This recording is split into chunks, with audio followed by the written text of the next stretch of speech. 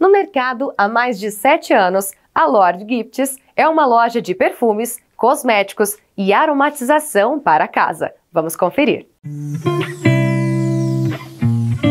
é novidade que os brasileiros são conhecidos mundialmente por ser um povo que gosta de cuidar da aparência. Quem se dá muito bem com essa característica da população brasileira é o setor de indústrias de aromas e perfumaria, que vem crescendo ano após ano. E a previsão é que continue aquecido por um bom tempo.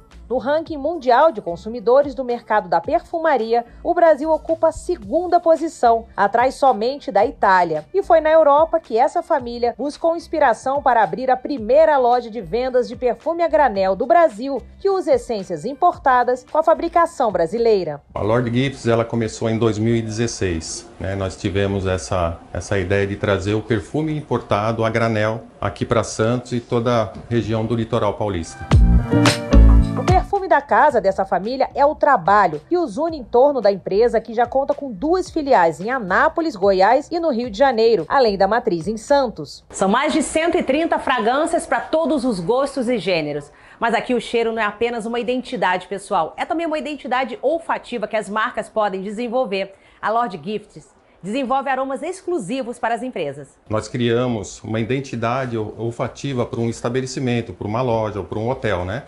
E aí a gente, a gente cria uma fragrância para para que eles coloquem numa loja, né? A identidade olfativa, quando você passa um perfume, ela é sensorial, então ela ativa o, o sistema neurológico da gente e você fica mais feliz.